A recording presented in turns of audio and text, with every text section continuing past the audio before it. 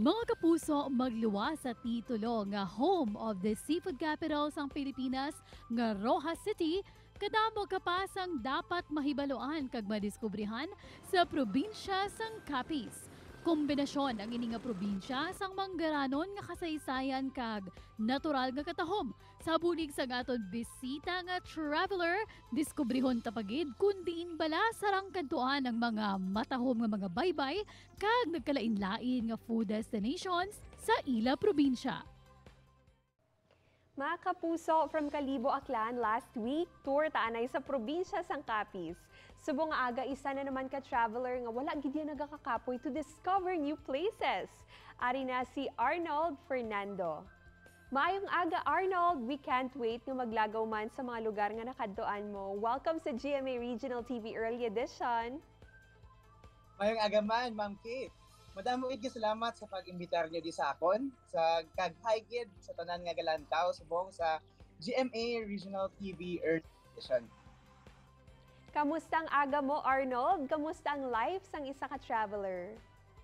Bawa ka sadya pero kakapoy gid na nga mag-travel pero ah ako ba isa ka tawo nga gusto gid ma-experiencehan halos tanan tapos makaduan ang tanan. So muna kaya while I have the energy to do travel or backpacking, ginatake ko gid ang tanan nga opportunity nga makalakat kung holiday ga plano gid ko na nga may kaduan ako.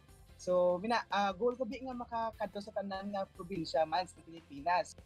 Paano ka bala nahilig sa pagbiyahe, Arnold? Sino ang mga nag-influence sa imo? Oh, actually since college na ganyo gid ko na mag-travel sa to, to places that I've never been to. Syempre, to meet new people, people from different walks of life, know their stories, and syempre, uh, to share share man my own stories and experiences. Subong nga aga, isa-isa huntabi ang mga matahom ng mga lugar dira sa Capiz. Kung sa mga baybay, ano ang mapabugal mo gid nga nakadtuan mo na Arnold? I-share man syempre ang imo nga experience. Kung sa mga baybay naman diri sa Capiz, syempre ang gid ang pinakamalapit di sa amon sa Rojas City, ang Baybay Beach. Isa din na siya kamalaba nga beach line man actually diri sa Capiz, ang diri sa cities Rojas City.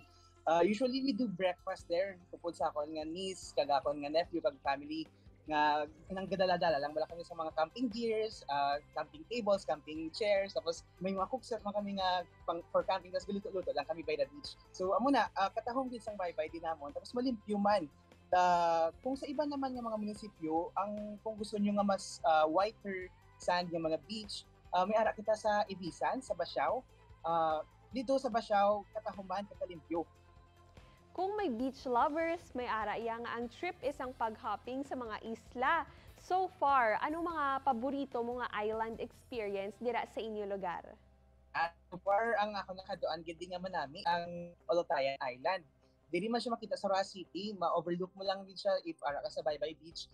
Kanami dito, especially kung gusto mo nga daw island experience gid, inang ihaw-ihaw lang blanka mo sang baboy, tapos camping-camping lang man, tapos ligo sa refreshing waters ng Ila Beach.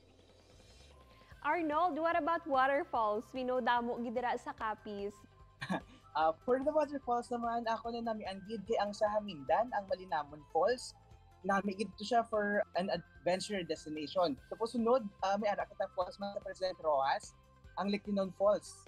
Nga kung diin ang going there is very adventurous man. Muna gin tawag siya nga Liquinon kay gadaw ga liktin liktin ikaw wala sa mga bato para makakadto ka dito. Hindi madula, of course, ang food destinations. Damo sang choices for sure ang aton mga kapuso. Siyempre kung sa pagkaon naman, kadamo kadi namit sa Capiz. Especially kung seafoods, kay seafood capital of the Philippines ang Roa City.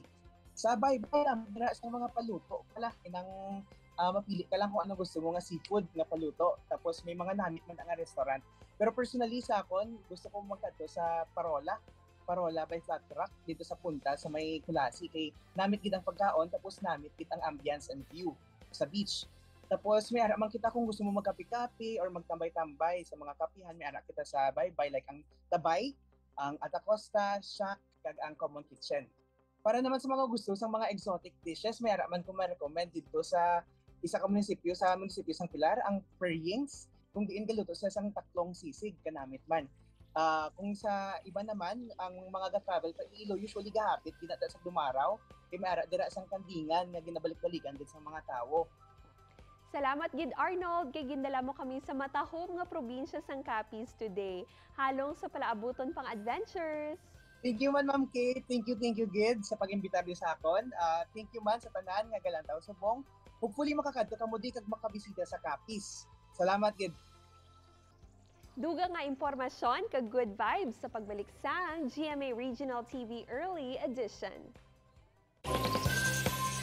Ini ang GMA Regional TV Early Edition.